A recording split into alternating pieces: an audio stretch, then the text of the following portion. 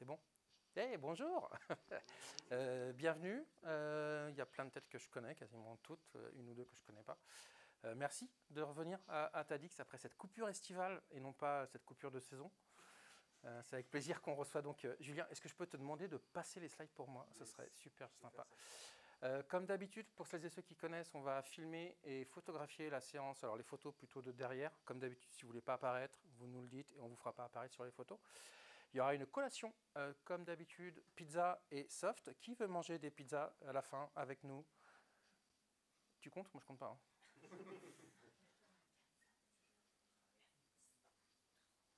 Presque. Euh, Euh, merci à nos magnifiques sponsors qui, parce que sans eux, en fait, vous ne seriez pas là et Julien ne serait pas là. Donc un gros merci à Deezer qui prend une partie des frais de voyage euh, de Julien.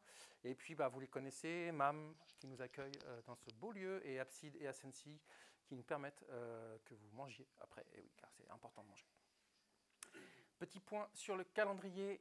Donc le mois prochain, on reçoit Peggy Repars, une tourangelle qui est son titre, c'est Chasseuse de nuages, donc j'aime beaucoup ça. Voilà, c'est pour vous dire. Euh, L'idée, c'est d'essayer d'accompagner les gens euh, pour aller mieux. Euh, elle travaille avec beaucoup de retraités, mais aussi de personnes de la vie active. Et on aimait beaucoup le thème d'équilibre, de vie de gestion et de temps à améliorer votre quotidien. Je pense qu'on est tous dans des métiers où parfois on a un million de trucs à faire, et du pro et du perso, et Peggy a plein de petites astuces. Elle est adorable, je vous conseille vraiment de venir.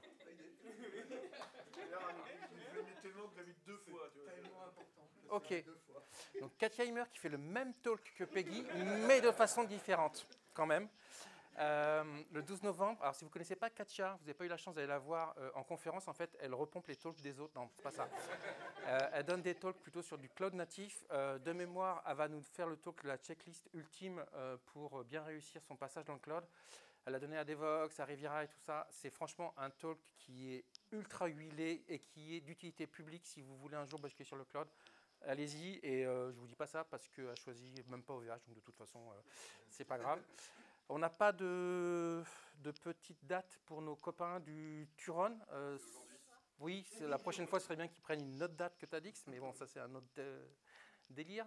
Et puis euh, la FUP, euh, bah, si Sébastien est là, c'était hier, et je crois que si la FUP est en train de regarder pour le Oktoberfest, donc suivez leur compte, a priori ils vont essayer d'organiser un petit truc avec le CFIM, euh, c'est en cours de calage, mais l'idée c'est que voilà, s'ils l'organisent, si on peut aller leur donner un petit coup de main et puis, euh, et puis faire qu'on fait 2-3 PR, ça serait cool. C'est bon?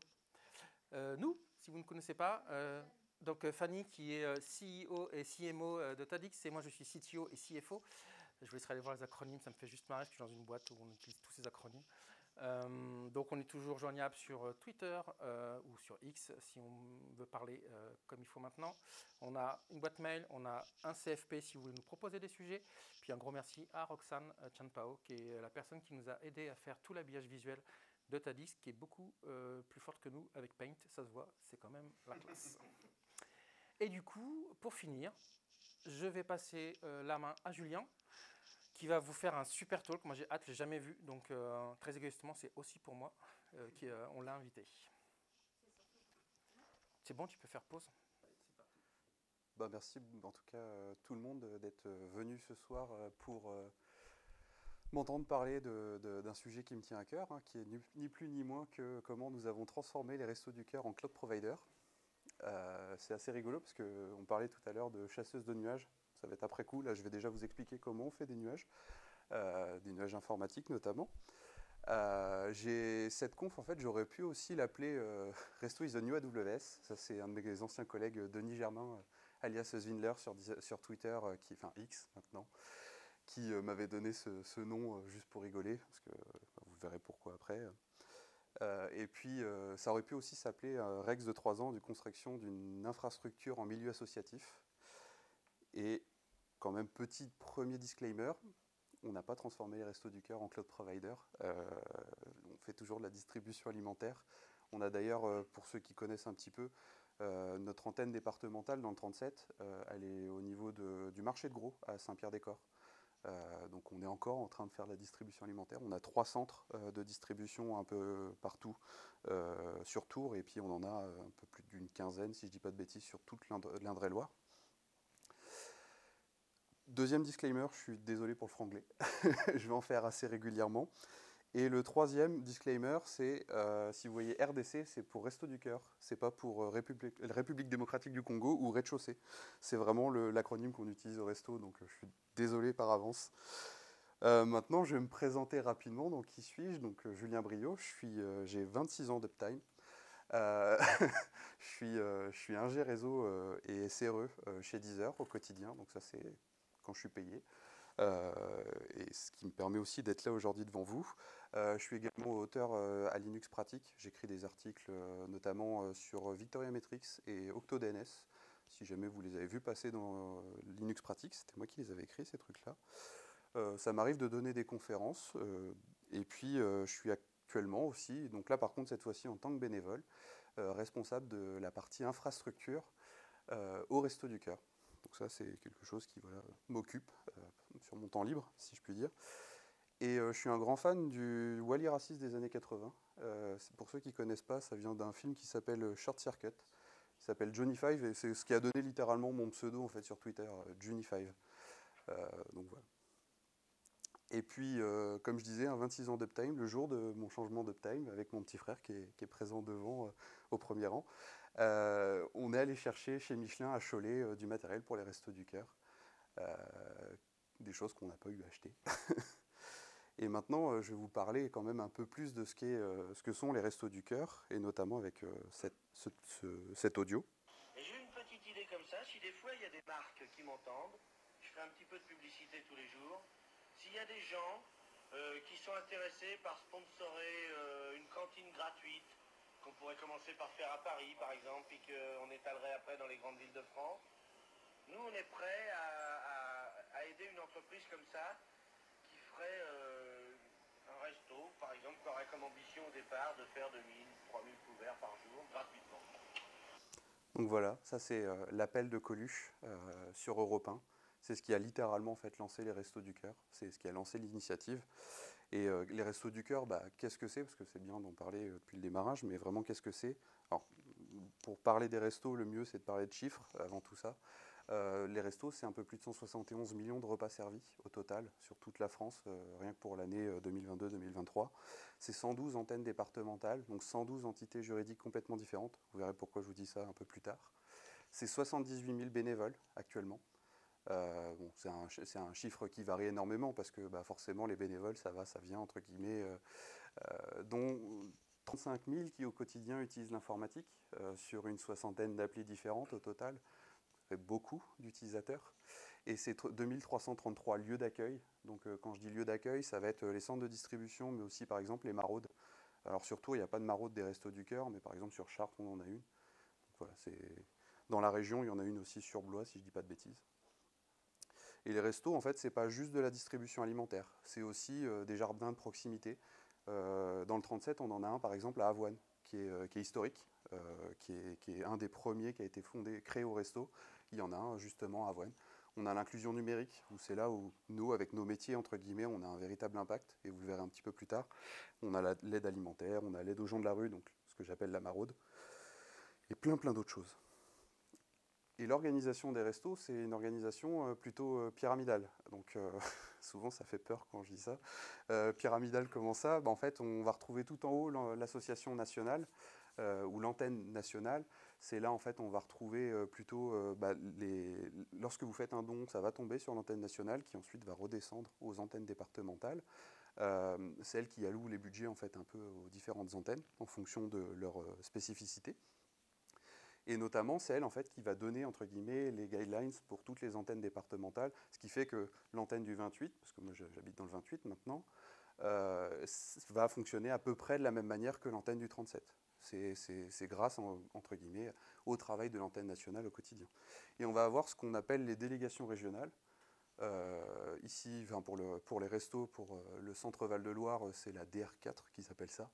Euh, j'en fais partie. Et à la toute fin, on va voir ensuite les antennes départementales. Donc ça, c'est dans chaque département, vous avez une antenne qui gère en fait le budget, notamment pour le département qui lui est alloué. Et puis ce que tout le monde connaît, les centres de distribution et les maraudes, et puis euh, tous les, lieux d'accueil. Par exemple, ici dans le 37, euh, les Restos du Cœur sont en train d'ouvrir, par exemple, un centre pour euh, venir réparer des vélos pour les bénéficiaires. Donc ça va être des bénévoles qui vont justement pouvoir réparer des vélos sur place. Donc ça, c'est aussi des endroits d'accueil qui sont justement gérés par les antennes départementales. Et il y a un truc à retenir, c'est qu'en fait, tant qu'on est là, c'est que ça va pas. Parce qu'il faut, vraiment garder en, tête que les restos, à l'origine, l'idée c'était que l'association disparaisse, parce qu'il n'y aurait plus de pauvreté. Bon, il se passe exactement l'effet complètement opposé, et, euh, tant, qu'on est là, c'est que ça ne va pas. Donc moi, quand je suis arrivé au resto, on ne voit pas très bien, mais normalement, bon, c'est à peu près le même schéma. Euh, quand je suis arrivé au resto, moi, je suis arrivé en fait à l'antenne départementale, donc celle de Réloir. Et euh, notamment, j'ai eu quelques premiers constats quand je suis arrivé. Enfin, j'ai fait quelques premiers constats quand je suis arrivé au resto, et notamment un peu casse-gueule. Euh, le premier, c'était que je me suis retrouvé tout seul. Donc, euh, je suis arrivé face à l'informatique de l'Eure-et-Loire, gérer l'informatique de l'Eure-et-Loire. Et en fait, je me suis rendu compte que tous les PC, il n'y en avait aucun qui était complètement identique. Il n'y avait rien qui était géré, rien qui était référencé. Enfin, mon petit frère peut témoigner. ça a été une galère euh, pas possible pour tout remettre entre guillemets d'aplomb. Euh, et puis au-delà de ça, euh, il y avait plein plein de choses en fait où il fallait faire en fait avec, l'historique. Parce qu'il y avait par exemple un serveur, donc le, fameux PC, vous savez, qui, qui, traîne dans un coin. Ça, c'était le serveur de l'antenne du 28. Et je peux vous assurer que c'est pas la seule, puisque dans le 37, c'était un peu la même chose aussi. Euh, ça, c'est quasiment x112 en fait, euh, ce, truc-là. Et en fait, dessus, bah, est-ce qu'il y a des sauvegardes? Ça, on ne sait pas. Enfin, euh, en l'occurrence, il n'y en avait pas. est-ce qu'il y a de la redondance? Spoiler alerte, non. Il y a quoi qui tourne là-dessus, sur ce truc? Enfin, honnêtement, comment je me connecte dessus et comment je regarde un petit peu ce qui tourne dessus? Bah, Toutes ces informations-là, je ne les avais pas parce que la personne qui était avant moi est partie et a embarqué les informations. Et ça, donc on l'a presque x112. Donc vous imaginez le bazar que c'est à gérer. Donc la première, la première chose que je me suis dit, ok, on va essayer de récupérer à droite à gauche du matériel et puis on va monter une petite baie de serveur. Euh, donc c'est le fameux DCOVC, euh, parce que si on regarde bien, on a un WC derrière, euh, qui est condamné hein, quand même, je tiens à le préciser, et un mitigeur qui pendouille. on notera quand même le souci du détail, la climatisation pile en face, histoire de bien refroidir les serveurs, mais globalement, là par contre, on était euh, totalement, euh, entre guillemets, redondé. On avait en plus de ça des serveurs euh, détachés pour pouvoir faire des sauvegardes sur un, site distant, mais là on commençait à avoir un premier bout d'infrastructure et qui commençait en plus à donner des services pour les locaux. Après, il y a d'autres antennes qui ont choisi un choix un petit peu plus radical, euh, notamment pour Stéphane, euh, qui ont soit pris le, le, pli, enfin, qui ont pris la, décision d'aller soit chez OVH ou AWS pour certains. Euh, sauf que tout ça, ça coûte de l'argent, et notamment quand multiplié par le nombre d'antennes qu'il y a et le nombre de services qui sont déployés, ça coûte beaucoup d'argent. C'est ce que ça coûte vraiment beaucoup d'argent, et, et, puis voilà. Ensuite, euh, au niveau de l'antenne du 28, euh, j'ai déployé quelques services parce qu'il y a plein de besoins qui n'étaient pas, euh, pas déployés, notamment par l'antenne nationale ni la, région, parce qu'ils n'avaient pas les compétences pour le faire ou ils n'avaient juste pas le temps de le faire. Et donc j'ai mis en place ces services-là au niveau du 28. Et en fait, la région en a entendu parler, donc la région Centre-Val-de-Loire, en a entendu parler, elle s'est dit c'est bien, mais ça ne sert pas à grand-chose, entre guillemets, que ça ne serve que pour une antenne. Est-ce que tu ne veux pas le proposer pour toute la région? Je fais bon, bah ok. Euh, sauf que le problème, c'est que toute la région, ça va difficilement tenir sur deux, serveurs qui étaient un peu en bout de souffle, on va dire. Euh, donc c'est à partir de ce moment-là où en fait j'ai fait donc un, appel aux dons et on a une entreprise lilloise, donc on est allé chercher le matériel à Lille. On est, euh, passé récupérer une baie qui traînait sur le passage. et une personne qui, nous, qui nous l'a donné. Et puis on est parti chercher des serveurs justement à Lille pour se dire, bah voilà, on va commencer à construire justement cette infrastructure pour héberger les applications pour la région. Et donc, euh, on a commencé donc, à construire, et c'est à partir de là où on a eu ce premier pop euh, qui est arrivé, donc avec deux vrais baies, où notamment on a des problèmes de riches, hein, parce qu'on a un serveur qui sert de support de PC portable. Euh, en l'occurrence, le, serveur qui était là, c'était un serveur qui ne fonctionnait plus, c'est pour ça qu'il est, comme ça. Mais, tout ça, ça a été rendu possible parce que justement, vous l'avez peut-être pour certains vu passer sur Twitter, mais ça m'arrivait de faire passer des appels aux dons justement pour aider les restos du cœur, parce que bah, tout ça, ça coûte beaucoup d'argent. Et il y a eu véritablement en fait, le moment que j'appelle de délivrance, c'est quand, et là pour le coup je suis je pense que le, changement de logo, euh, si vous avez un petit peu suivi le changement de logo de Deezer, on est passé d'un equalizer à un cœur, très certainement une, une symbolique. Euh, parce que justement, Deezer, en fait, on a changé de data center. Donc moi, je fais partie de l'équipe infrastructure, donc j'ai les serveurs, euh, surtout le réseau des serveurs de Deezer au quotidien. Et donc, si jamais, quand vous appuyez sur Play, ça ne marche pas, c'est très certainement de ma faute. Euh, tout ça pour dire qu'on a changé les, serveurs, parce qu'on a changé de data center, enfin on a migré une partie d'un data center, et donc en fait on a pas mal de machines qui ne servaient plus, et euh, ça a été l'occasion, entre guillemets, pour les restos justement de les récupérer gratuitement. Et donc on est allé les chercher, euh, Mathéo encore une fois était là aussi pour prêter main forte, parce que je peux vous assurer que des serveurs, c'est pas léger, notamment quand on a récupéré la dernière fois des châssis M1000E, alors je sais pas si ça va parler pour certains, mais les châssis de blade, ça fait 160 kg à vide. Avec les blades à l'intérieur, c'est un peu plus de 200, donc euh, ça, pèse un, peu, euh, un peu beaucoup même, je dirais. Donc voilà, on est allé chercher le matériel là-bas. Et maintenant, ça c'est bien, mais euh, que faire avec tout ce matos et dans quel, quel intérêt? Quel est l'intérêt surtout? Et donc, bah, où est-ce qu'on les installait bah, Pour commencer, moi je suis sur Chartres, il y a une proximité avec, avec avec, avec, Paris qui est, quand même plutôt intéressante. Et puis en plus, il y a une infrastructure locale notamment parce qu'on a des gros data centers du Crédit Agricole, d'Orange qui sont installés localement, donc on a pas mal d'écosystèmes euh, euh, d'infrastructures locales. Bon, faut savoir que Chartres, honnêtement, en fait, à part la cathédrale et du le, le, data center des Restos du Cœur, il n'y a pas grand-chose autour, si ce n'est des champs, et les data centers du Crédit Agricole.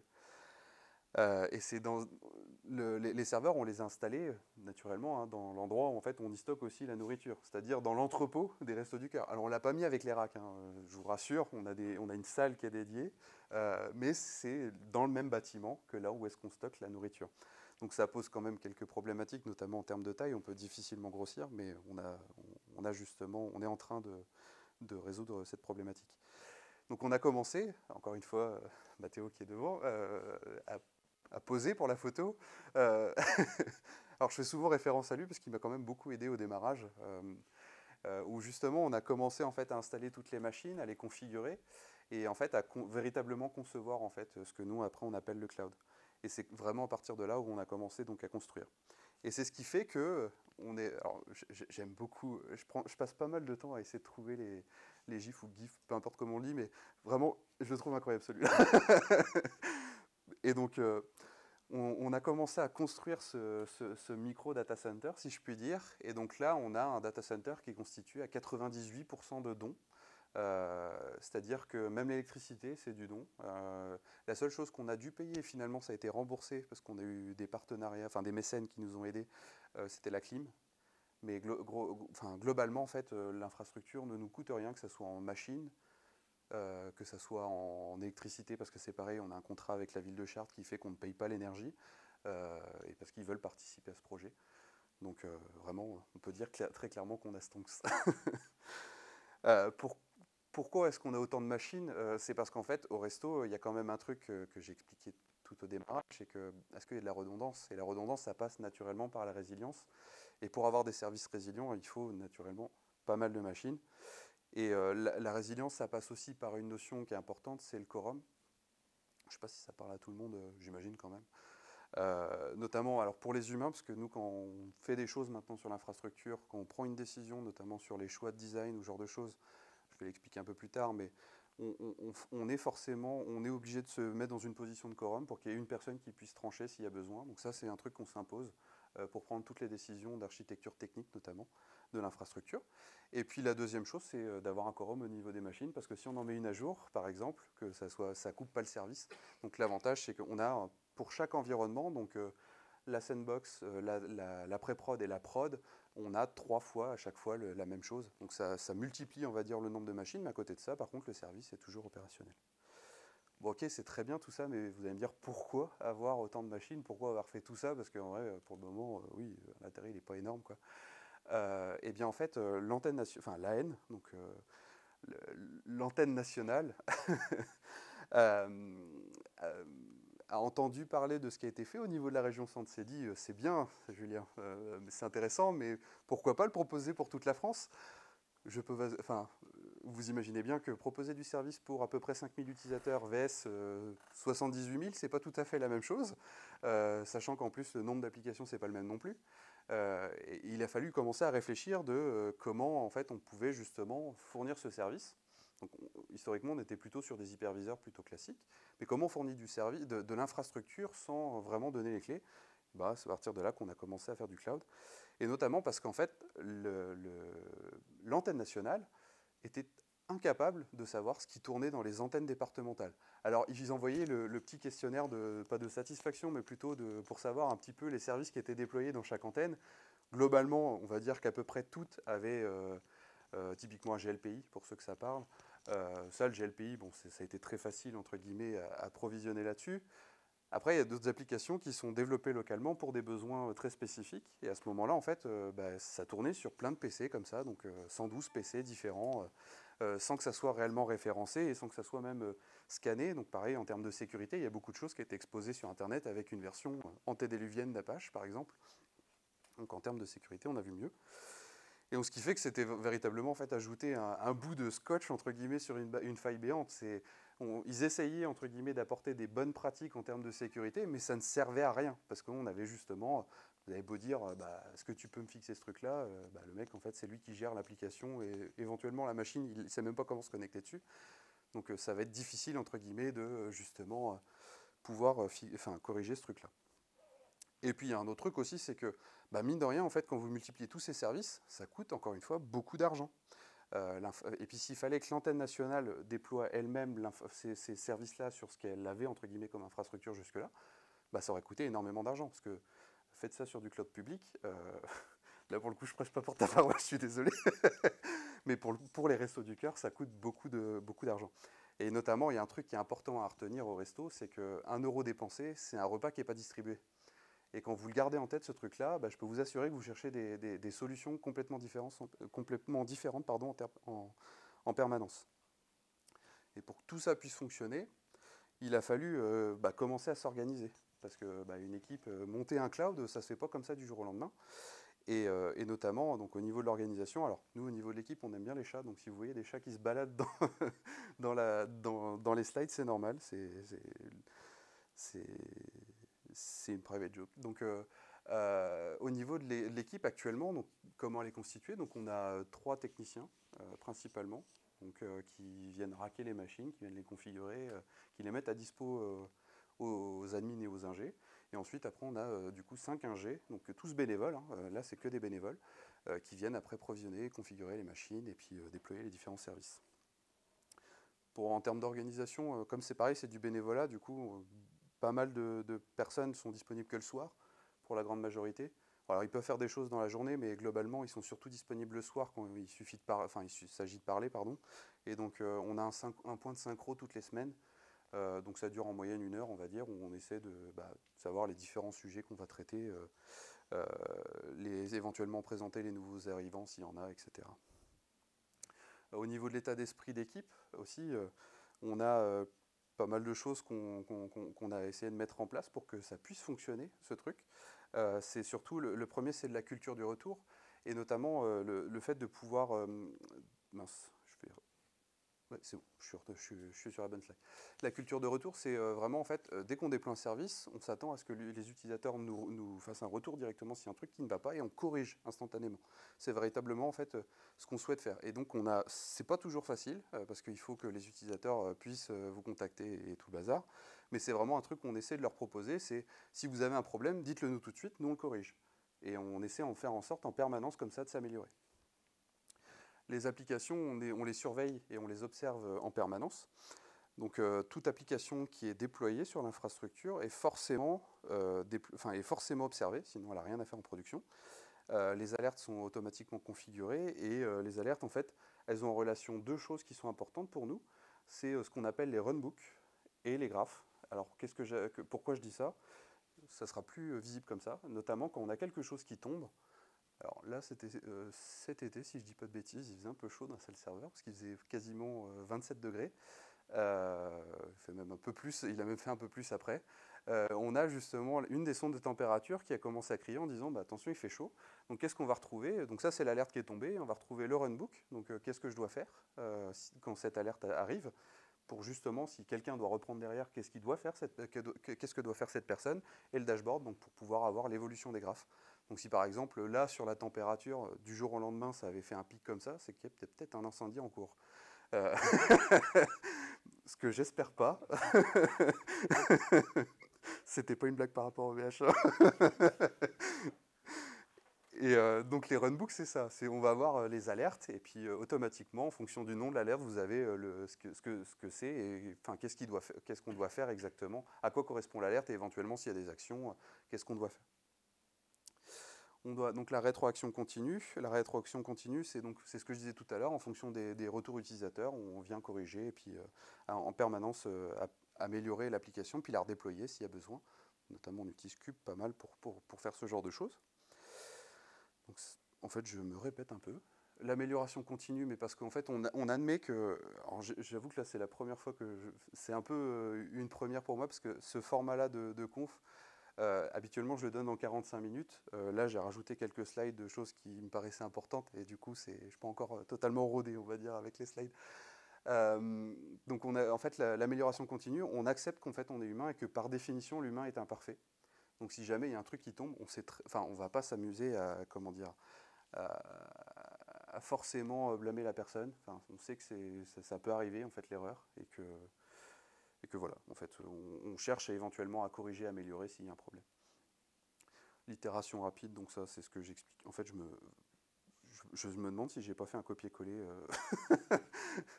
L'itération rapide, c'est euh, donc on a plusieurs environnements. Donc la sandbox pour jouer sans rien casser. Euh, la pré-prod et la prod, c'est lorsque vous allez notamment, ça va être appliqué en fait en pré-prod, en pré-prod slash staging, pardon. Lorsque vous allez créer, enfin lorsqu'on crée une merge request, ça crée un environnement temporaire, ça teste que l'application fonctionne bien et vient valide là-dessus. Et une fois que c'est valide, on peut merger l'APR, enfin la merge request, et automatiquement ça part en production. Donc ça, c'est ce qu'on s'applique pour tout ce qu'on déploie au niveau de l'infrastructure. Et on est donc blameless, puisque naturellement, il y a un truc qui tombe, c'est pas grave, c'est un problème globalement au sein de l'équipe, c'est qu'il y a un truc qui n'a pas été euh, bien designé on va préférer, réfléchir en équipe plutôt que se dire, en fait, c'est de ta faute, si ce truc-là, est tombé. Tombé.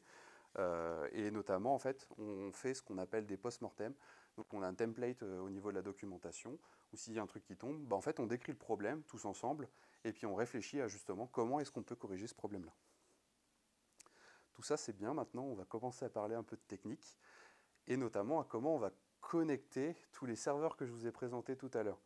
Euh, bon, faut savoir que tout ce que je vous ai, les slides que j'ai rajoutés là, habituellement, je les ai pas en fait. C'est, on bascule tout de suite sur la, sur la partie technique. C'est pour ça que ça peut paraître pas naturel, on va dire, dans l'enchaînement. Euh, en termes de réseau, alors est-ce qu'il y a des gens qui, sont, qui font du réseau quotidien ou qui ne connaissent rien au réseau éventuellement peut-être? Il y en a d'autres qui... Ok, bon, euh, moi, c'est mon métier. du coup, je, peux vous en parler plus facilement. Euh, sur l'infrastructure, pour que ça puisse fonctionner, il faut naturellement un peu de réseau quand même qui dépote, parce que quand vous avez 78 000 utilisateurs euh, potentiels sur une soixantaine d'applis, ça commence à générer un peu de trafic.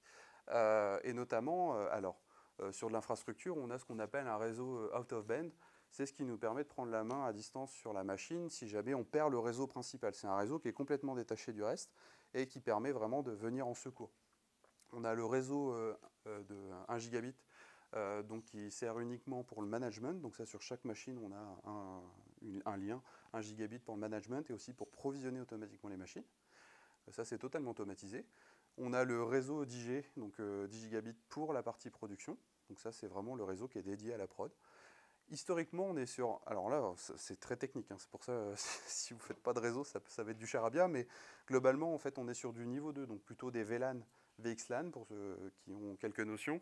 Euh, ça, c'était ce qu'on faisait historiquement, et maintenant, on est en ce qu'on appelle full routé, c'est-à-dire que de la machine, donc de l'hyperviseur, jusqu'à la tête de réseau, donc euh, la spine, en fait, tout est routé en BGP, en interne. Pourquoi on a fait ça? C'est pour pouvoir justement rajouter des POP supplémentaires sans que ça se devienne trop, euh, compliqué. Donc quand vous devez par exemple créer un, dans, une, enfin, dans une architecture cloud classique, si vous utilisez par exemple AWS, vous avez les notions d'AZ, les zones de disponibilité. Bah, pour pouvoir créer un service d'une AZ à l'autre, ils font du BGP justement pour pouvoir simplifier entre guillemets les interconnexions inter-AZ. Donc nous, c'est ce qu'on a fait aussi euh, au resto. Et pour ça, en fait, on utilise des équipements qu'on a eu de la part de Deezer, donc Juniper, et puis des technos open source, donc euh, ViOS et FRR. Pour euh, que ça puisse fonctionner tout ça, je vais expliquer un petit peu l'état d'esprit tout à l'heure de l'équipe, mais il y a aussi bah, quelques règles à s'appliquer pour que globalement l'infrastructure, elle, puisse fonctionner. Alors c'est des règles plutôt techniques pour la grande majorité. La première chose, c'est que moi, ce que j'expliquais tout à l'heure, c'est que nous, euh, ce qu'on propose, cette plateforme de cloud, c'est pour éviter le shadow IT, en, grande majorité, pour éviter d'avoir des trucs qui sont déployés mais pas référencés. La meilleure chose à faire pour éviter le shadow IT, c'est justement faire l'infrastructure code. Enfin, d'avoir faire l'infrastructure code, mais du code qui est stocké notamment, par exemple, dans un Git. Euh, et donc, ce qui fait que nous, donc toute l'infrastructure Ascode quasiment, enfin toute l'infrastructure est gérée Ascode. Euh, donc, ça permet de limiter le shadow IT, ça permet d'accélérer les déploiements parce qu'on a de la CI qui applique, les différentes choses. On a des rollbacks qui sont facilités parce qu'il suffit juste de revert en fait entre guillemets la merge request pour pouvoir réappliquer l'état entre guillemets précédent de l'infrastructure. On a aussi les bonnes pratiques de sécurité qui sont, euh, qui sont directement intégrées dans les pipelines en fait, d'application de, notre infra. Euh, c'est-à-dire qu'en fait, on va venir, par exemple, scanner le code euh, Ansible ou genre de choses, vérifier qu'il n'y a pas des secrets qui se baladent ou genre de enfin, des choses qui pourraient être euh, problématiques en termes de sécurité. Et puis, bah, l'avantage aussi, c'est que c'est du partage en continu, puisqu'on a de la revue de la modification, des, modifications avec des pairs, hein, comme, comme on le fait dans du développement. On envoie la merge request et puis d'autres personnes la review automatiquement. Enfin, la review. La review. Et euh, d'ailleurs, à ce sujet, euh, j'ai donné euh, deux confs, alors notamment, enfin là c'était il y a deux ans à Devox et celle-ci c'était cette année à Devox. une sur OctoDNS, un outil qu'on utilise pour, pour gérer le DNS as code. c'est un outil qui est agnostique, qui permet de, de, migrer d'un provider à l'autre d'une rapidité enfin, juste déconcertante. En moins de deux minutes, vous avez migré de l'on-prem vers du cloud et inversement. C'est super pratique, donc c'est ça, c'est ce qu'on utilise pour les pour la partie publique du, nom de domaine Resto du Cœur et puis pour la partie privée. Et puis euh, euh, l'autre outil, c'est Pulumi, donc un remplaçant de Terraform euh, qu'on utilise beaucoup au Resto du Cœur, notamment pour ajouter de l'abstraction sur certains éléments. C'est très pratique, notamment quand vous avez des gens qui ne sont pas forcément très bons en développement, mais que vous voulez, par exemple, je ne sais pas moi, sur certains, je vois sur les règles de firewall, bah, en fait, ils ont des fichiers YAML qu'ils ont juste à éditer, et derrière, c'est du code Python qui abstrait en fait la chose. Donc ça, c'est très pratique pour l'UMI pour ça. La deuxième chose, donc, c'est qu'on a essayé d'intégrer dès le démarrage la sécurité au cœur du projet. Parce que comme je l'expliquais tout à l'heure, en fait, on essaie de résoudre toutes les problématiques qui étaient là historiquement. C'est euh, OK, on a euh, l'infra euh, qui, tourne, enfin, on a des trucs qui tournent un peu partout, mais la sécurité, elle elle est, inexistante. Donc là, on a vraiment cherché à l'avoir dès le démarrage. Et notamment, le premier truc qu'on s'est dit, c'est pas de connexion directe sur les machines. Vous allez me dire, c'est génial, mais c'est pas très pratique pour administrer les machines euh, au quotidien. en l'occurrence, on peut quand même s'y connecter. Euh, c'est que globalement, pour appliquer de la configuration, on ne va pas le faire nous depuis notre poste, on va le faire via une CI/CD. C'est la CI/CD qui déploie automatiquement. Donc c'est elle qui a les droits de se connecter sur la machine et de déployer des choses. Et éventuellement, si on a besoin de se connecter sur une machine, on passe par un bastion qui est open source, qui s'appelle Teleport, et qui nous permet en fait d'enregistrer euh, éventuellement les choses que les, différentes personnes vont faire comme action sur l'infrastructure. C'est pas tant pour les fliquer, c'est plutôt pour se dire si jamais il y a un truc qui se passe pas bien, on va regarder ensemble ce qui s'est passé et comme ça on va pouvoir éventuellement corriger. L'autre chose aussi, c'est qu'on a un SIEM XDR qui, s'appelle Wazoo qu'on utilise, qui est open source, qui nous permet de vérifier par exemple qu'on applique bien le benchmark CIS. Alors je ne sais pas si ça parle à tout le monde, le benchmark CIS.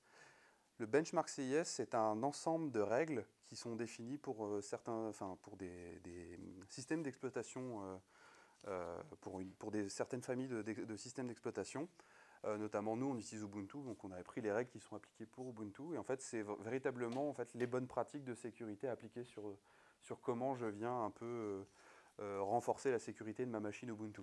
Donc ça, on, on a Wazoo qui vient le vérifier en permanence. Ça vient nous alerter aussi si éventuellement il y a des gens qui se connectent à des heures où ils ne devraient pas. Parce que ça, c'est pratique. Euh, ça permettrait de savoir s'il n'y a pas une, brèche qui a, été, euh, qui a été créée ou ce genre de choses. Et puis nous alerter sur, euh, sur Slack notamment si, par exemple, il y a une CVE qui excède 7 en termes de score, en termes de CVSS, savoir s'il faut la corriger très rapidement ou pas. Autre chose, c'est que tout ce qui est déployé publiquement sur ce cloud, on fait ce qu'on appelle de la reco. C'est-à-dire qu'on a les IP, euh, toutes nos ranges d'IP de coup sont connues, euh, et dès qu'il y a quelque chose qui est déployé, automatiquement c'est scanné par Hero Engine, qui est un outil aussi open source, et qui va remonter si jamais il y a un outil qui est, un, peu, euh, qui est un peu bavard ou qui a pas mal de, CVE ou de choses qui, pourraient être corrigées, notamment les failles XSS, enfin bref, tout ce qu'on a dans le top 10 WASP classique, ça, ça va être capable de le scanner en permanence et donc ça nous permet comme ça d'avoir vraiment la main, mise enfin, la main sur euh, justement la sécurité de ce qui est exposé au resto du cas.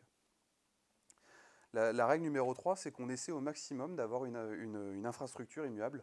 Alors qu'est-ce que j'entends par une infrastructure immuable? C'est euh, d'avoir en fait un système d'exploitation en lecture seule. Donc c'est que lorsque par exemple on va déployer un hyperviseur, euh, l'hyperviseur va être en lecture seule. C'est-à-dire qu'à part le, le, KVM qui va tourner dessus, il ne va pas faire grand-chose. Euh, et ça nous permet que si jamais, par exemple, il faut le mettre à jour, ben, on va juste le redéployer. Tout simplement. On ne va pas s'amuser à faire un apt update, euh, apt dist upgrade. Ça, on va juste redéployer le nœud et automatiquement, il sera à jour. Et pour y arriver, donc on utilise MAS, Metal as a Service. Donc c'est un outil, un outil de Canonical qui nous permet en fait de, déployer via le réseau, euh, de provisionner en fait des machines physiques et de les gérer véritablement comme si c'était des VM. Donc si vous voulez redéployer des, nœuds physiques à une vitesse grand V, ce truc-là, c'est juste génial et c'est open source. Et à côté de ça, on utilise Packer, donc d'Ashicorp, pour euh, pouvoir construire les images qu'on va déployer comme ça via le réseau. Donc euh, le, combo mass plus Packer, c'est vraiment ce qui nous permet de, déployer euh, toutes nos machines de manière immuable. Ça nous permet aussi de les mettre à l'échelle très facilement, et ça j'en parlerai un petit peu plus tard, et ça nous permet surtout en fait de les déployer via des déclenchements d'API. Donc euh, lorsque par exemple on a besoin de déployer une nouvelle machine, on n'est pas forcément obligé d'aller euh, se connecter sur la machine, la démarrer et puis attendre qu'elle se provisionne. En fait, on peut appeler MAS et MAS vient me démarrer la machine, vient me la provisionner automatiquement et c'est totalement, euh, totalement automatique. Mais par contre, tout n'est pas forcément immuable. On a quand même une certaine partie de l'infrastructure qui ne peut pas être immuable, enfin en tout cas pour le moment, notamment je pense aux bases de données, ce genre, enfin des choses qui ont encore un, qui ont, encore en fait des données euh, plutôt stateful. Euh, et c'est là où encore une fois Mass va venir en renfort, c'est que Mass, euh, on peut faire du déploiement one-shot où en fait l'OS ne va pas rester sur la machine, mais on peut faire aussi en sorte que l'OS soit déployé sur la machine et reste sur la machine. On pourra le redéployer plus tard s'il y a besoin, mais on peut faire en sorte qu'il le déploie sur la machine. Donc, notamment, on utilise Cloud Init, qui est très utilisé dans sur les clouds. Enfin, c'est Ubuntu, enfin Canonical qui avait fourni ce standard, standard-là maintenant, qui est utilisé notamment chez AWS, chez OVH, euh, plein, plein de, cloud providers. Euh, ça nous permet de gérer le cycle vie aussi du serveur, donc c'est-à-dire que si par exemple on a euh, un load balancer qui commence à rendre un peu, un peu l'âme, bah, en fait c'est pas grave, on va l'éteindre à ce moment-là et on va redéployer littéralement exactement la même configuration grâce à masse sur un autre nœud très rapidement. Donc en fait, le, matériel, on peut comme ça facilement gérer, sa vie. Et puis on va aussi euh, créer des enregistrements des, DNS dédiés à l'administration. Donc ça c'est pour se connecter à la machine. Une fois qu'elle est provisionnée, euh, je peux me connecter dessus via le record. Euh, sur chaque machine qu'on déploie, en tout cas pour les machines qui sont muables, on utilise Rudder. Donc c'est un outil de gestion de configuration open source français qui euh, possède un agent et qui nous permet en fait de déployer notamment les utilisateurs, les clés SSH, euh, la configuration de base de la machine, de la maintenir, parce que ça c'est exécuté toutes les 5 minutes, donc euh, s'il y a jamais un drift, automatiquement ça le corrige. Et ça nous fait un report automatiquement de s'il y a des choses qui ne vont pas. Ça nous, si par exemple dans le drift il a détecté qu'il y a un utilisateur qui a été rajouté à la main, il va le corriger, il va le, il va le dégager parce qu'il va dire il n'est pas censé être là lui. Donc il va le dégager automatiquement et il va nous envoyer une notification sur Slack. Donc ça nous permet véritablement en fait, d'avoir la main entre guillemets et surtout de la surveillance sur, sur, euh, sur nos machines. Donc ça, ça fournit une petite interface avec justement cette notion de compliance et puis euh, les, différentes machines. Et un autre truc qui est hyper intéressant, c'est que autant pour les machines immuables, si on veut les mettre à jour, c'est ce que je disais tout à l'heure, on les redéploie. Donc ça, ça là-dessus, il n'y a pas de souci. Par contre, pour les machines qui sont encore muables, c'est des machines qu'on laisse allumer en permanence quasiment, et euh, on ne peut pas les redéployer aussi facilement. Bah, Qu'est-ce qu'on fait? Bah, À ce moment-là, en fait, comme Rudder est installé, il permet aussi de faire des campagnes de patch management automatiques. Donc une fois par semaine, euh, les, machines qui sont muables, elles sont mises à jour automatiquement par Rudder. Et donc ça permet comme ça d'avoir en fait un parc euh, to-date en permanence. La règle numéro 4, c'est le déploiement de configuration. Donc là, je parlais vraiment de la gestion de configuration en tant que telle, maintenant plutôt le déploiement de configuration. Et ça, on le fait avec Ansible. Ansible, euh, donc ça c'est via des, merge requests, euh, enfin via, des, via, GitLab. On a en fait euh, une structure qui est qu'on on stocke les rôles de manière indépendante pour les rôles qui sont partagés. Et on prend, on vient les appeler dans d'autres hypogit pour, pour la partie provisioning. Donc ici on va avoir la partie collection rudder. Et ensuite après on va avoir le provisioning. Donc ça, cette partie-là va appeler cette partie-là. donc comme, comme, ça en fait on a une véritable, une véritable pardon, gestion euh, Git du, sujet. Et chaque déploiement est donc réalisé via la CI euh, obligatoirement. la, cinquième règle, c'est le partage. Donc on cherche à partager au maximum l'infrastructure, c'est-à-dire que bah déjà, il faut qu'elle soit ouverte, cette infrastructure. Euh, c'est-à-dire qu'il faut que l'informatique qu'on va rendre, elle soit, accessible à toutes les personnes qui font de l'informatique au resto. Donc il a fallu réfléchir à comment on peut le faire pour que ça soit en fait un effort concentré, c'est-à-dire qu'une personne qui est par exemple un informaticien du 37, s'il a envie de déployer une application et qu'il estime qu'elle peut être importante pour toute la France, bah, il peut le faire grâce à cette infrastructure. Et ensuite la proposer avec après euh, tout un champ de, de, comment dire, euh, une proposition de gestion de projet pour que ça puisse être étendu un peu partout. Mais euh, en fait, on a l'infrastructure qui permet de le faire. Et tout, doit être documenté. Donc s'il y a un truc qui est déployé, c'est comme l'observabilité. Pour qu'une application puisse euh, tourner en prod, il faut que ça soit documenté. Et euh, c'est une construction commune. Euh, Maintenant, on va commencer véritablement à parler du cloud. Ça commence à être long.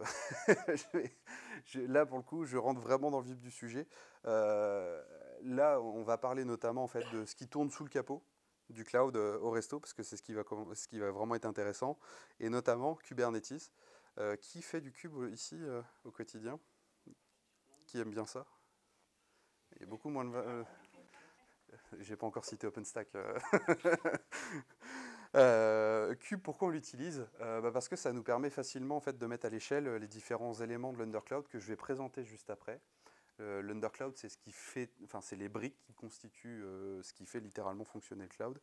Euh, on a une gestion as code avec Helm actuellement et on est en train de la migrer progressivement plutôt vers du GitOps avec, euh, avec euh, Argo CD.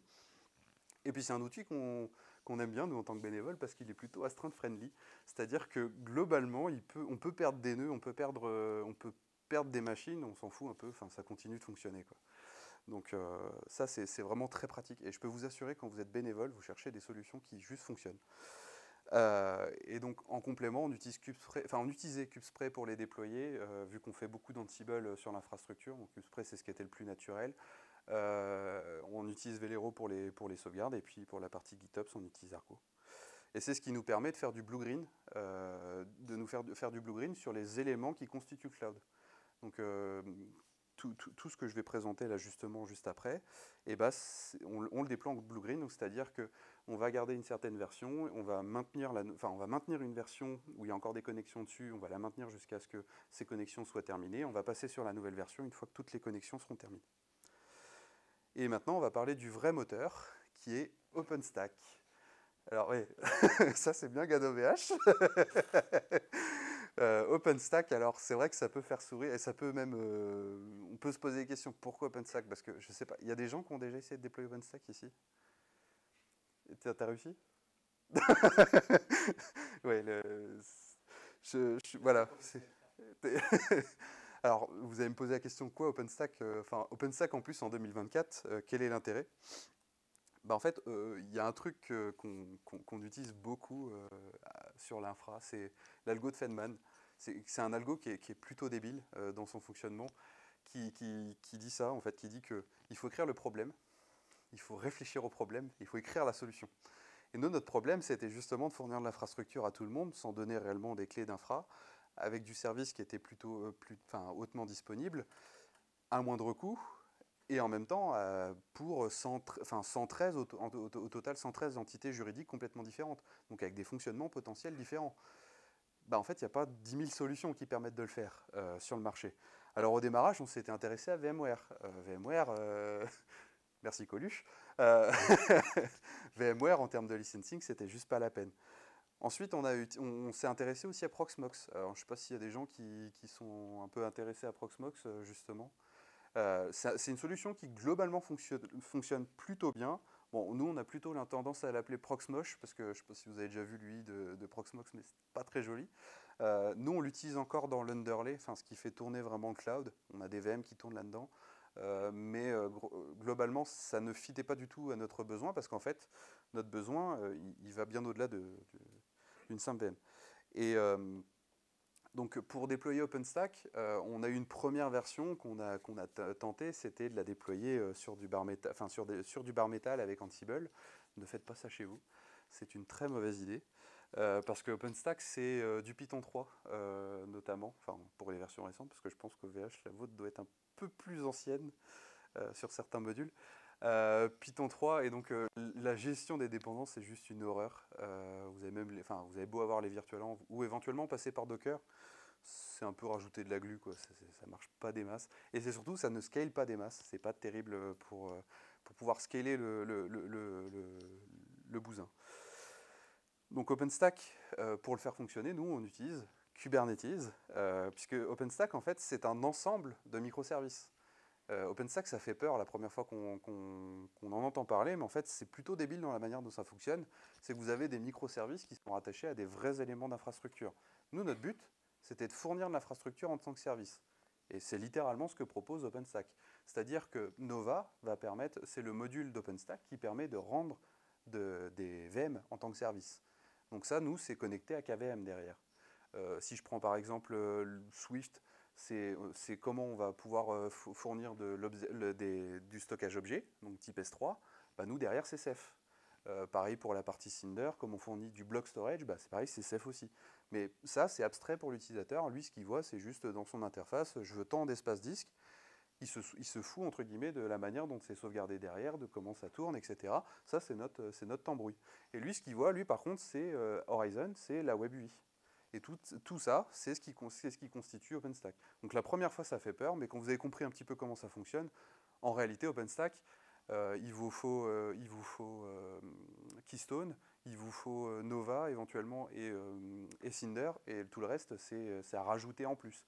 En fait, c'est ça aussi le gros avantage d'OpenStack, c'est que vous avez un besoin, notamment là par exemple, nous en ce moment, on a besoin de, de fournir du Redis en tant que service. Ben, on a un module d'OpenStack qui permet de fournir du Redis en tant que service. Et donc ça, on le rajoute progressivement. En termes d'architecture, je le disais tout à l'heure, on a encore du Proxmox, donc en fait on a surtout les bases de données, qui, enfin les, anciennes bases de données d'OpenStack qui tournent dedans. On a les Power DNS, donc la partie DNS euh, du cloud qui tourne dedans aussi. On va avoir les RabbitMQ, les Memcached. Dans la partie cube, c'est là qui est intéressante, c'est qu'on va retrouver sur les workers, en fait, littéralement, le control plane d'OpenStack. Donc tous les microservices d'OpenStack, on les a sur cube pour pouvoir justement euh, mettre à jour plus facilement les nœuds, enfin faire des montées de version d'OpenStack très facilement. Et la partie réseau, par contre, ça c'est des nœuds qui sont complètement détachés parce que c'est par là que passe le trafic OpenStack, donc euh, ça c'est un peu dé détaché. Et puis après on va retrouver les nœuds de compute. Les nœuds de compute euh, classiques, alors nous on fait, je, l'expliquerai plus tard, mais on, fait de, on, met en fait le compute et le stockage sur les mêmes nœuds pour gagner de la place. Et on a ce qu'on appelle les nœuds de compute euh, overflow. C'est-à-dire que lorsqu'on n'a plus de place sur les nœuds de compute, ça arrive assez régulièrement, notamment quand on a des, runners, des choses comme ça qui, tartinent un peu la nuit, et bien en fait on a des nœuds qui sont allumés et provisionnés automatiquement. Et donc c'est ce qu'on appelle les nœuds, les, nœuds d'overflow. Et donc OpenStack, ça permet de faire de, de l'autopartage de l'informatique. Et en fait, c'est là où on a vraiment cette notion d'overlay et d'underlay. L'overlay, globalement, c'est ce que les gens voient, et VS, euh, l'underlay, ce que, nous voyons euh, en termes d'infrastructure. Et autrement dit, c'est ce que les gens utilisent et c'est ce que nous maintenons. c'est comme ça qu'il faut voir le truc. Euh, je, parle souvent d'overlay, d'underlay, c'est comme ça qu'il faut, voir la chose. C'est vraiment ce que les gens utilisent et ce que nous maintenons. Donc euh, ça permet comme ça, hein, naturellement, aux antennes départementales de déployer leurs services et à l'antenne nationale d'avoir des ressources et déployer éventuellement aussi eux leurs services à moindre coût, puisque actuellement ça coûte zéro. Euh, et puis, bah, vous l'aurez compris, hein, le, besoin vient bien, au-delà d'une simple VM, euh, puisqu'on a besoin de bases de données, on a besoin de DNS, on a besoin de, de réplication, de, de, cluster cube aussi à la demande. Enfin, tout, toutes ces choses-là, en fait, c'est des choses qu'on a besoin de rendre en tant que service. Et c'est à partir de ce moment-là qu'on a eu euh, cette notion, enfin ce nom qui est arrivé, le cloud du cœur, ou le resto du cloud, c'était Sylvain Vallès qui m'avait dit RDC pour resto du cloud. Je trouvais ça rigolo. Euh, donc avec une interface où les utilisateurs peuvent créer en fait toutes, les ressources dont ils ont besoin. Donc ils ont des quotas qui leur sont alloués par défaut. Bon là c'est pas le, vrai cloud des restos, euh, c'est la, page par défaut d'OpenStack, mais l'idée est un peu là. Euh, ils ont tout dans une seule interface, ils peuvent créer des ressources. Nous on gère entre guillemets la partie chiante de l'infrastructure, si je puis dire. Comment ça fonctionne? Donc je parlais tout à l'heure d'underlay, d'overlay grosso, grosso merdo, c'est euh, dans l'underlay, on va retrouver PowerDNS Unbound pour la partie DNS, et euh, le module d'OpenStack qui gère ça, c'est Designate. Donc c'est comme ça qu'on fournit du DNS en tant que service, à la fois sur la partie interne et la partie externe. Donc DNS public de, des restos du cœur, c'est fourni grâce à ce truc-là. La, gestion des secrets, c'est Barbican qui s'en occupe. Euh, la gestion du storage, bah, c'est en underlay, donc sous le capot, c'est Ceph. c'est une techno qui est aussi très très bien parce que euh, je ne sais pas si vous connaissez un petit peu Ceph, mais euh, je parlais de, techno astreinte friendly. Bah, celle-ci, c'est aussi un bon exemple. Donc, c'est open source, ce truc-là. Euh, c'est du stockage distribué. Donc, le, gros avantage, c'est que c'est sur plein de nœuds. Et le. c'est pas le bon.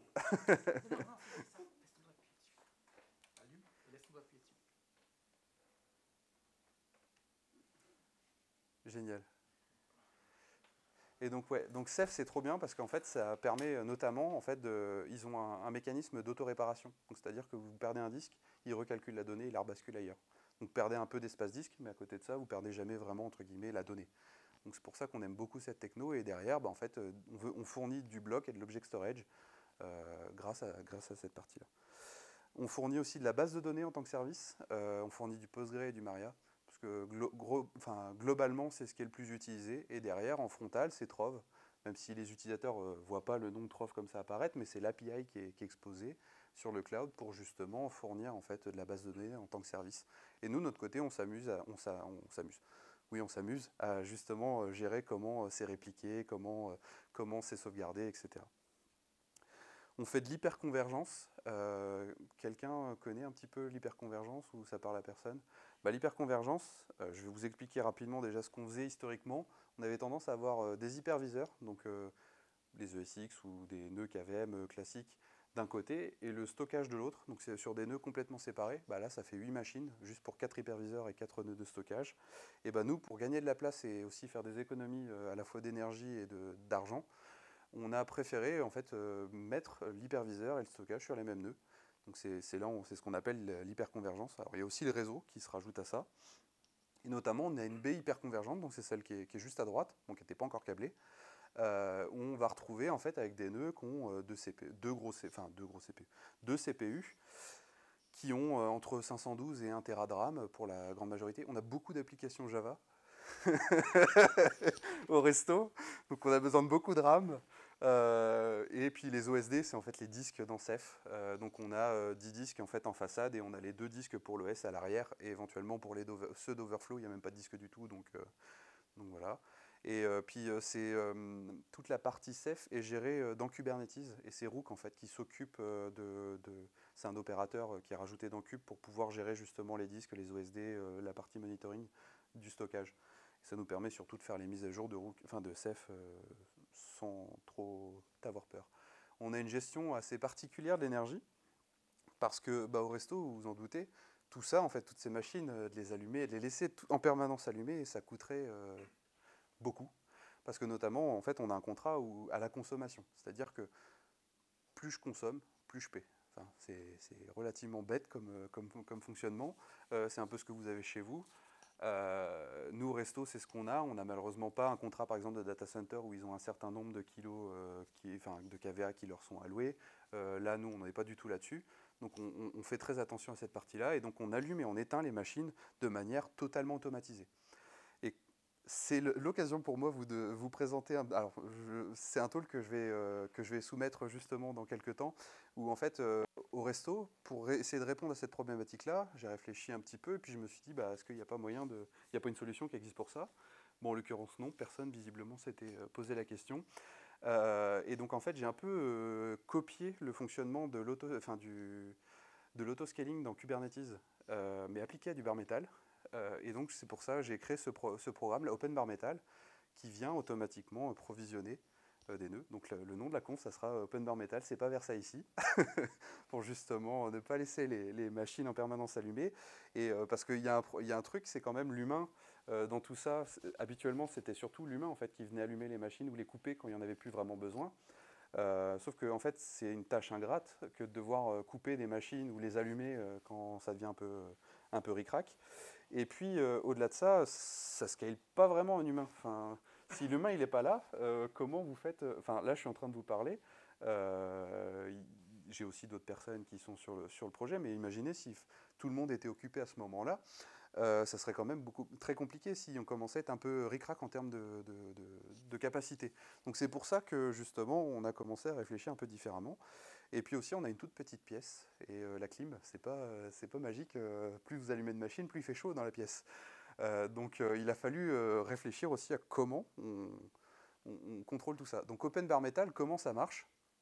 Je vous ai parlé tout à l'heure de, la partie observabilité, où toutes les applis qu'on a, et aussi tous les éléments d'underlay, enfin d'infrastructure qu'on a, sont observés par Victoria Metrics, qui va venir automatiquement collecter par pool de machines ces informations on va, Metal va lui requêter Victoria Metrics en permanence en lui disant bah, combien, as, par exemple, tu as de pourcentage d'utilisation de tel pool. Donc, par exemple, les hyperviseurs, à combien tu es, euh, par exemple, au niveau du CPU. Donc, euh, dès que commence à être un peu ric-rac, automatiquement, Open Bar Metal va interroger Mass en lui disant est-ce que j'ai des machines disponibles dans le pool? Ok.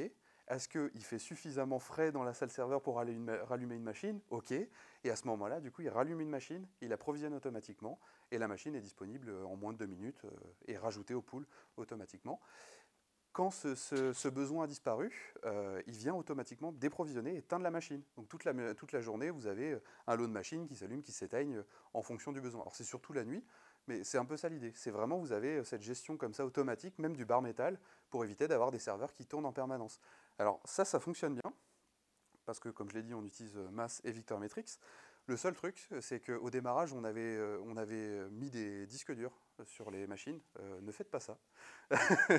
Alors, allumer et éteindre des machines, ça se passe globalement plutôt bien, sauf quand il y a des disques. c'est vraiment le premier truc qui casse. Donc là, maintenant, ce qui se passe, c'est que notamment, par exemple, pour les, nœuds de compute, compute d'overflow que je vous, ai, je vous ai montré tout à l'heure, bah, en fait, l'OS, il est chargé en RAM. Donc il est chargé en RAM temporairement, il absorbe la charge, une fois qu'elle a disparu, il coupe le nœud, puis c'est réglé. C'est comme s'il n'avait jamais existé. On fait du, là, je vous ai expliqué euh, tous les éléments qu'on fournit et toutes les choses qu'on fournit en tant que service, donc la VM, la base de données. On fournit aussi du cube, on fournit du Cubeception avec un outil qui s'appelle Magnum, euh, qu'on est en train de plutôt de remplacer euh, progressivement vers Talos. mais on utilise Magnum qui, euh, qui, nous permet en fait de fournir directement dans l'interface d'OpenStack euh, aux utilisateurs un cluster cube à la demande.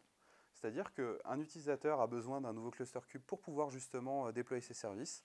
Il a littéralement, on va lui demander combien il veut de master, combien il veut de worker, et automatiquement s'approvisionne tout de manière un peu automagique.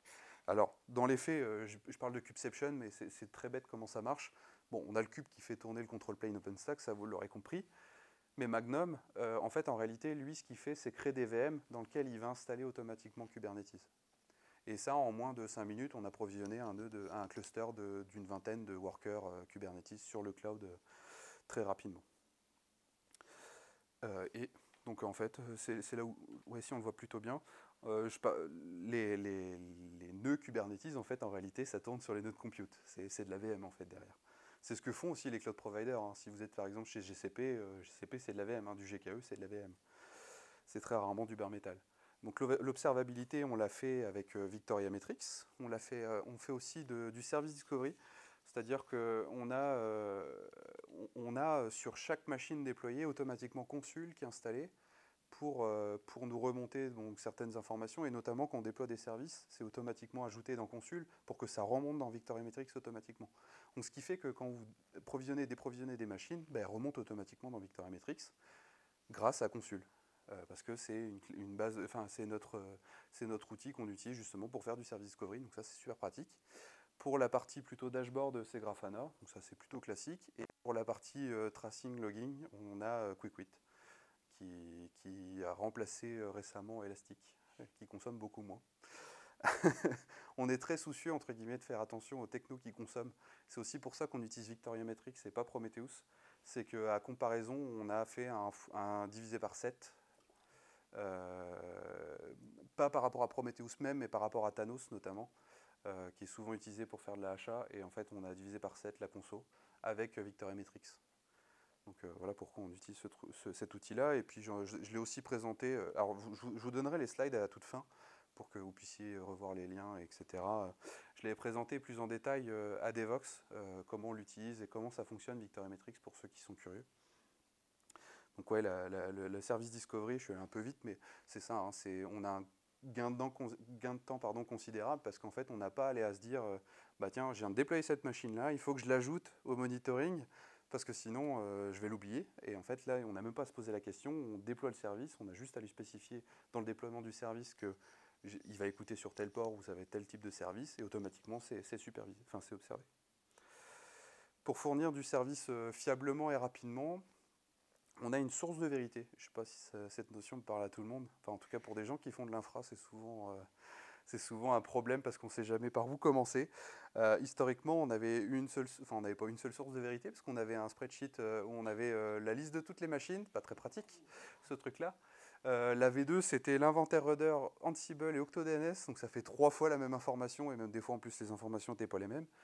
Et c'est à partir de là où on a commencé à s'intéresser à la CMDB, euh, la Configuration Management Database. Euh, truc plutôt classique, hein, on va dire, au niveau de l'infrastructure, et notamment nous on utilise Netbox. pourquoi on utilise Netbox et pas GLPI Parce que je vous ai parlé de GLPI tout à l'heure.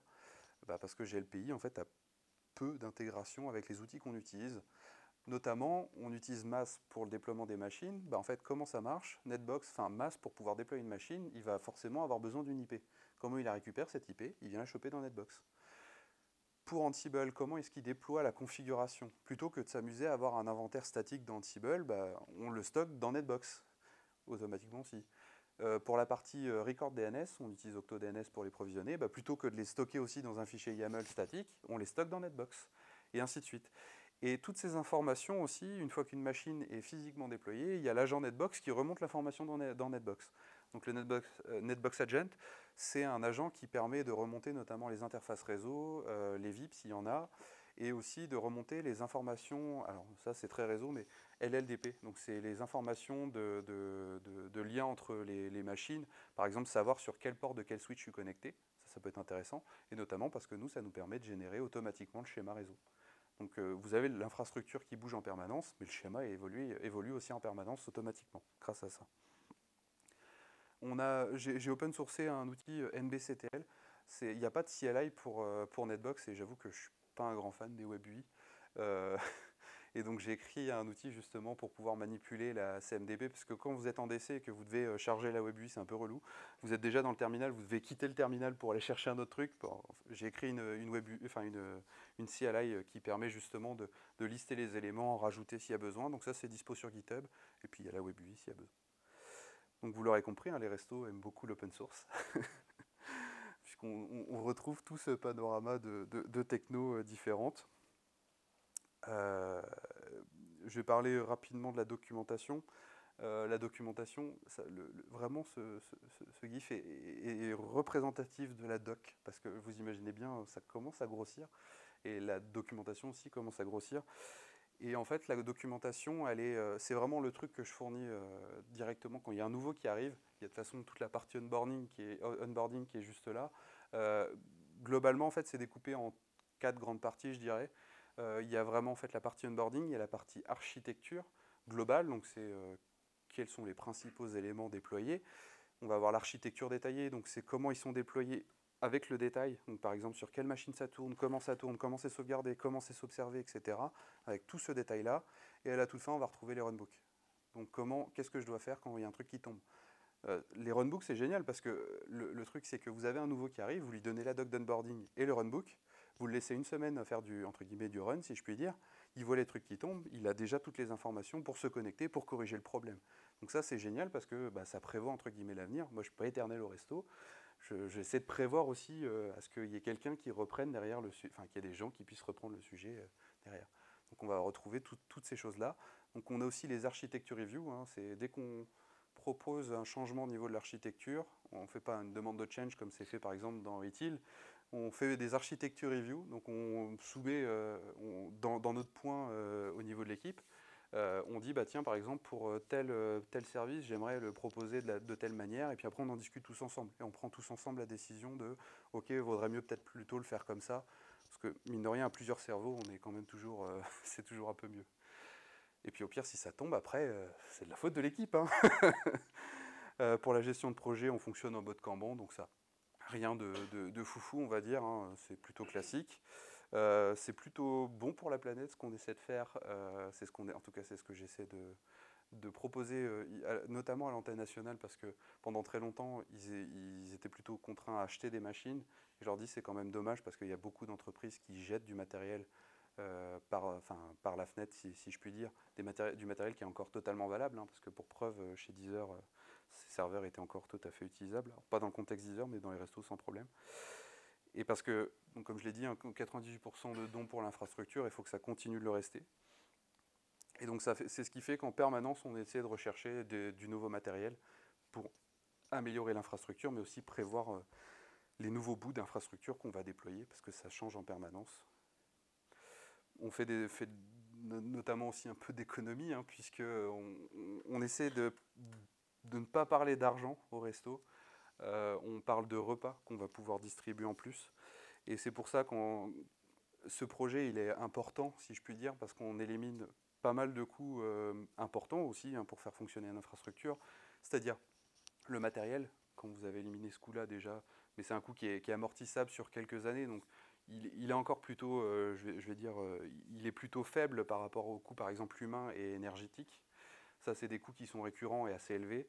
Euh, bah, ces coûts-là, en fait, finalement, on les, a complètement éliminés parce que c'est géré totalement par des bénévoles et que l'énergie, en plus, on a un contrat avec justement bah, les villes, la ville de Chartres notamment, pour pouvoir bah, fournir ce service sans que ça coûte quoi que ce soit pour déployer les services. Donc, j'avais rajouté cette slide là, mais elle est pas.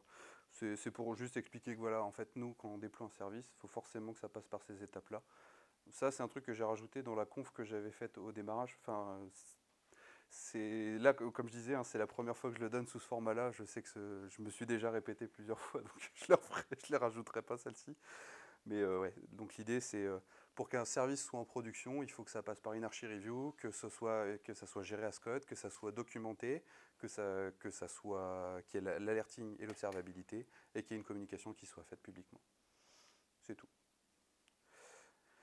Pour les services qui sont déployés dessus, on a Passbolt, qui est un outil de gestion de mots de passe. Ça, c'est vraiment ce qui tourne sur le cloud. Euh, j'ai mis à chaque fois, le, enfin, on va dire, le nombre de repas que ça permet de distribuer en plus. Euh, en fait, en réalité, c'est le nombre d'euros que ça permet d'économiser surtout. Mais euh, on avait fait le, calcul et on avait un peu interrogé pas mal de solutions différentes pour la gestion des mots de passe au resto, qui est un truc crucial. Euh, la, gestion des mots de passe, c'est quelque chose qui est compliqué et qui coûte beaucoup d'argent. je ne sais pas s'il y en a qui sont déjà un peu penchés au sujet, euh, mais, par exemple, si vous prenez du One Password ou ce genre de choses, euh, bah, c'est un peu plus d'un million d'euros par an. Et là, en l'occurrence, Passbolt, la licence, il nous l'offre. Euh, c'est open source, hein, mais la partie SSO notamment est payante. Et donc, c'est un peu plus d'un million cinq si on l'étale sur tous les restos. on a un outil aussi équivalent à TeamViewer. Ça, c'est plus pour les, personnes techniques on a un outil qui est équivalent à TeamViewer, qui est totalement open source, euh, qui est développé par la NASA d'ailleurs, historiquement, par un admin de la NASA. On a beaucoup de trucs de la NASA, hein, parce que OpenStack c'est pareil, c'est la NASA qui l'a développé ce truc-là à l'origine. Euh, c'est 700 000 euh, repas quasiment économisés par an. les, chambres froides, ça je l'ai présenté à Devox. c'est 6 millions de repas distribués en plus. Alors qu'est-ce que c'est? C'est des sondes qu'on a développées en interne à base de SP32 qu'on a installé d'ailleurs il n'y a pas très très longtemps euh, pour les derniers, euh, qui, euh, permettent automatiquement d'alerter si jamais il y a une, anomalie en termes de température dans la chambre froide ou si éventuellement il y a un défaut électrique ou ce genre de choses. en fait, on est tout de suite alerté et on a l'historique aussi des graphes. Ça permet de contrôler qu'il n'y a pas une rupture dans la chaîne du froid, notamment. Et ça, en fait, si on l'étale sur les 380, 587 chambres froides et chambres négatives qu'on a au resto, bah, ça aurait coûté 6 millions d'euros. Et c'est un, coût qu'on n'a quasiment pas, puisque euh, c'est 15 euros par chambre froide, VS euh, entre 1500 et 4000 par an par chambre froide, donc vous imaginez l'impact qui est important. Le Wi-Fi aussi, on a plein plein de trucs qui tournent sur le cloud pour pouvoir faire fonctionner le Wi-Fi dans les centres de distribution. Parce que comme, comme je l'ai dit, on a de l'inclusion numérique.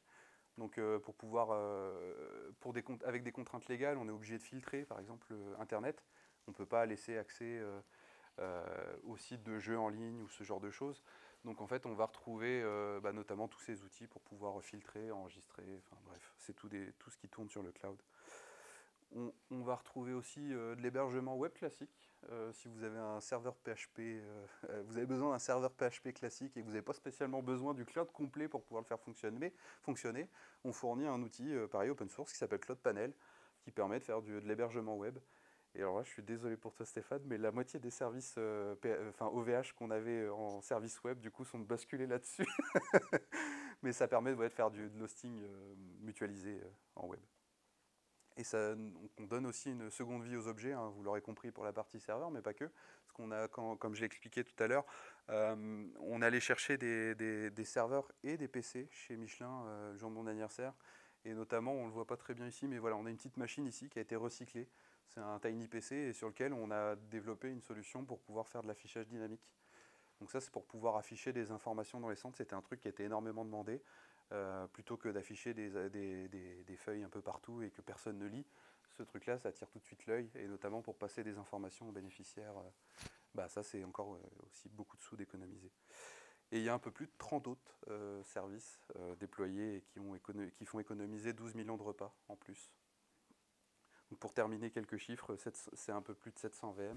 C'est évolutif, hein, tous ces chiffres-là, euh, pour le coup, j'ai pas regardé euh, dernièrement, mais je pense qu'on est un petit peu plus. C'est 400 pods, c'est 80 serveurs par AZ, euh, par zone de disponibilité. c'est 6 personnes, bah, maintenant plus. c'est un peu plus de 6 personnes d'actifs sur le projet. On, on a des millions de repas d'économiser, si je puis dire, et une dizaine d'entreprises partenaires, et même aussi des gros mécènes maintenant. Et j'ai normalement une dernière vidéo, mais je ne sais pas si elle va fonctionner. Si.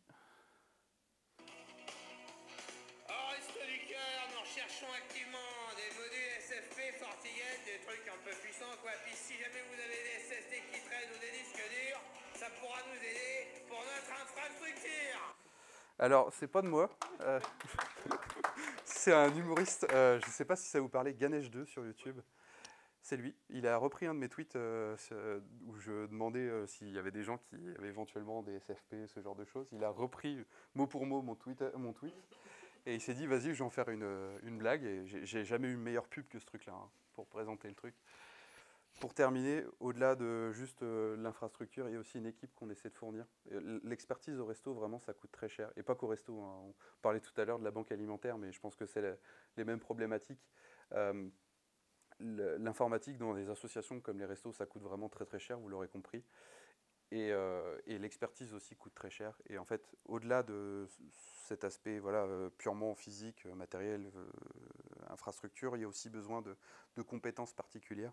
Donc si jamais vous êtes intéressé, n'hésitez pas. Parce qu'on a besoin de vous. Qu'on a tous une bonne raison de s'impliquer. Je dis souvent voilà, donc voilà, j'ai terminé. Je vous remercie pour votre écoute. Été, là, c'est la première fois que je donnais sous ce format-là, donc je sais qu'il y a plein de trucs à améliorer, mais, mais, mais, voilà. si vous voulez me laisser un, retour, vous pouvez. Après, c'est pas obligatoire, on peut, vous pouvez me le dire là tout de suite. on est en petit comité, donc ça devrait aller. Et par contre, si ça vous intéresse, j'ai mis les slides. Il y a le lien des slides si vous voulez retourner dessus. Merci. Merci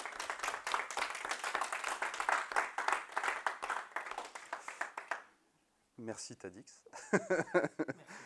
Et euh, c'est l'heure de la vérité.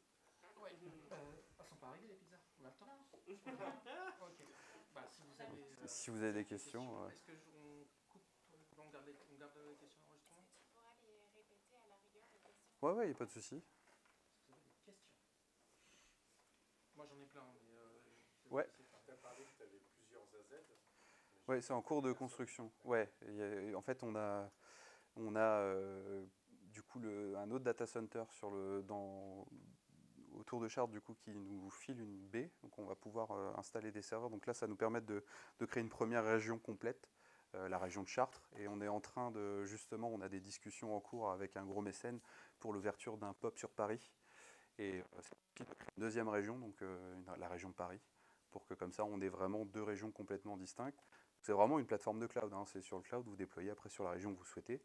Euh, et, euh, et comme ça, ça nous permet voilà, d'avoir de la redondance, euh, et puis pareil, encore une fois, à coût zéro. Ça fait combien de temps que vous êtes sur la nouvelle infra on voit pas mal de choses, mais on se rend pas trop. Ouais, en- bah là en plus le format, enfin là c'est la première fois en plus que je le donne sous ce format-là, il y a plein de trucs. Le, le format plus court est beaucoup plus clair, j'ai envie de dire. Euh, la nouvelle infrastructure, ça va, enfin ça fait trois ans que je suis au resto, un peu plus de trois ans maintenant. Euh, ça doit faire deux ans, je dirais, qu'on est dessus. Donc euh, ouais, ça, il y a déjà pas mal de trucs qui ont été accomplis en deux ans. Oui. Du coup, il y a des services qui sont disponibles aux bénévoles, qui n'étaient Ouais. pas disponibles avant, Exactement. et qui étaient dans chacun. Et c'est quoi du coup ce retour Parce que comme il y avait la culture de retour, c'est quoi en plus et qu'ils sont tellement contents d'utiliser Quel- Alors ouais, y a. Alors ça, ça c'est le. L'infra, c'est l'outil qui permet de résoudre un. Enfin, ça Ouais, alors la culture du retour, c'est surtout euh, quand ils sont contents, on est content. Parce que globalement, euh, c'est que ça va, on s'est pas trop mal démerdé. Euh, non, mais par contre, on est aussi content quand ils nous remontent des problématiques. Typiquement, euh, ça arrivait dernièrement qu'un utilisateur, quand il chargeait sa page, ça chargeait pas complètement le CSS. C'était un problème côté LB, mais du coup, ça nous a permis de le corriger très rapidement. C'était un problème de configuration, mais du coup, on a pu corriger très rapidement. Et ça, c'est vrai, véritablement parce qu'il y a cette euh, communication en permanence avec les utilisateurs. Ouais. Ouais.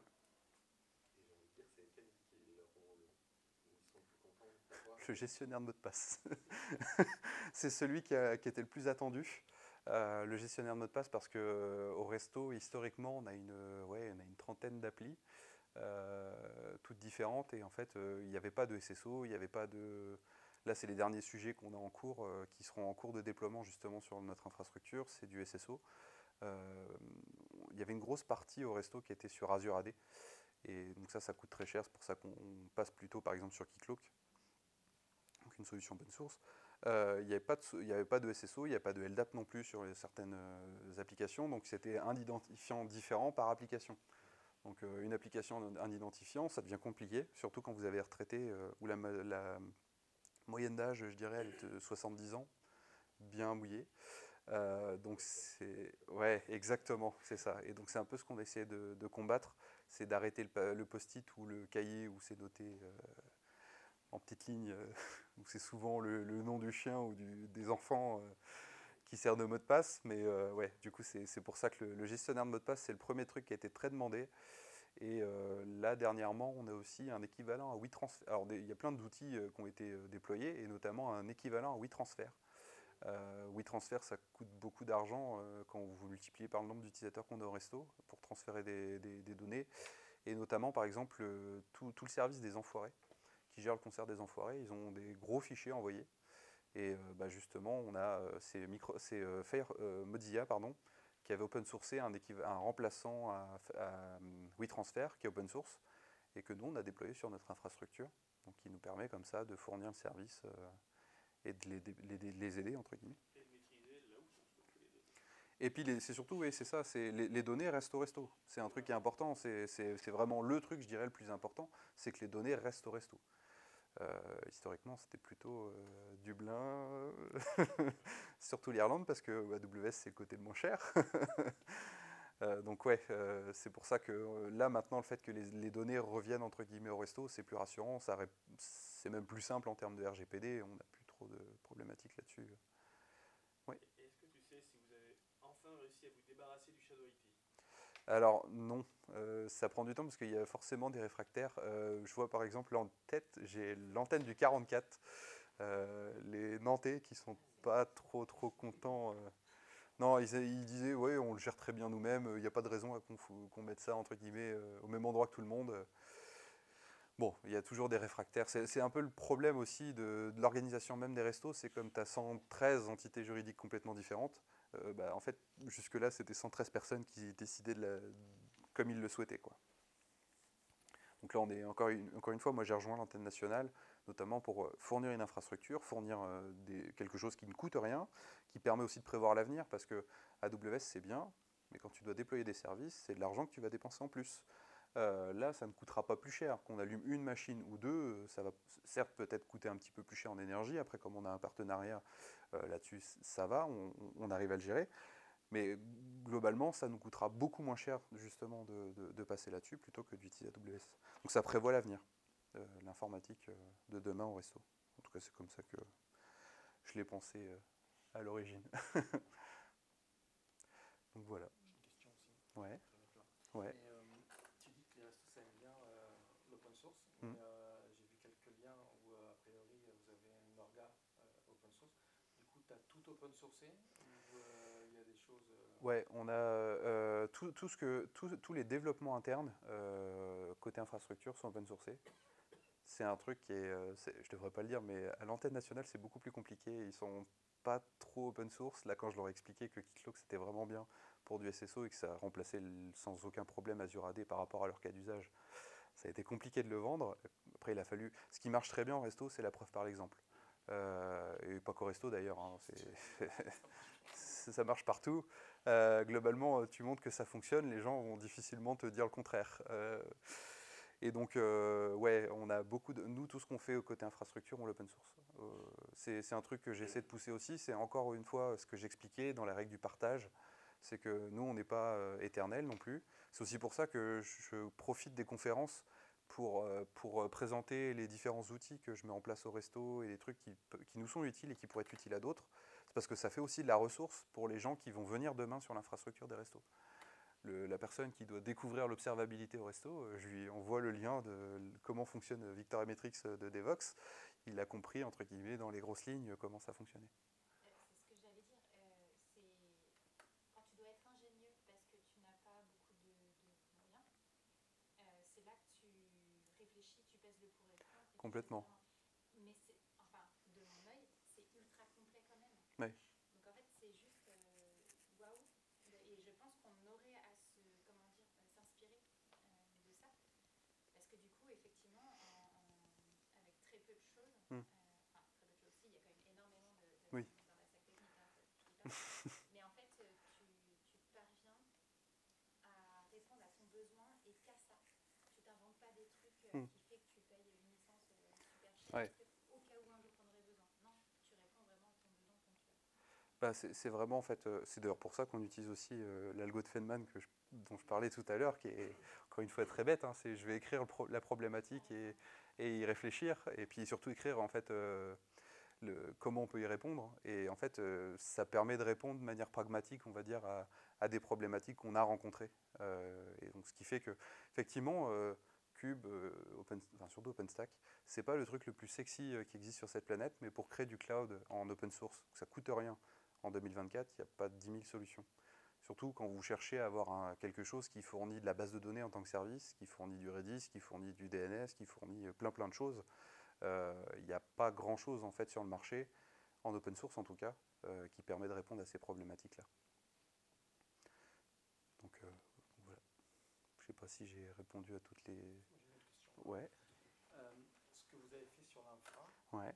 donc euh, avec les bénévoles, Ouais. avec les CRE et tout ça, du coup il y a l'équivalent sur la partie, tu parlais de Java par exemple, donc ça veut dire que vous avez des développements spécifiques. Non, alors on a des développements. Il y euh, a des équipes de bénévoles, de devs qui viennent. euh, Ju- Justement, on n'a pas. euh, en fait, on passe beaucoup par prestataires historiquement pour euh, développer euh, les applis internes des restos. Euh, et c'est là où il y a beaucoup de prestataires qui ont arrêté de maintenir certaines applis qui sont encore utilisées. Et c'est aussi pour ça que. Alors là, je ne sais pas si vous êtes tous développeurs ou majoritairement développeurs, j'imagine. Euh, bah, si jamais vous êtes intéressé de rejoindre cette euh, superbe aventure, on, recherche activement des développeurs, notamment Java, parce qu'on a beaucoup d'applications Java. Et il y a pas mal de choses qu'il faudrait pouvoir faire évoluer. Donc, donc ouais, on a, on a, quand même- on a des trucs après, euh, même si c'est plus. euh, en fait, même si la, la boîte qui s'en occupait euh, ne, ne s'en occupe plus, on a des trucs quand même plutôt sympas. On a du Quarkus qui traîne, on a des, des choses quand même assez récentes, on va dire. C'est pas que des trucs de vieux.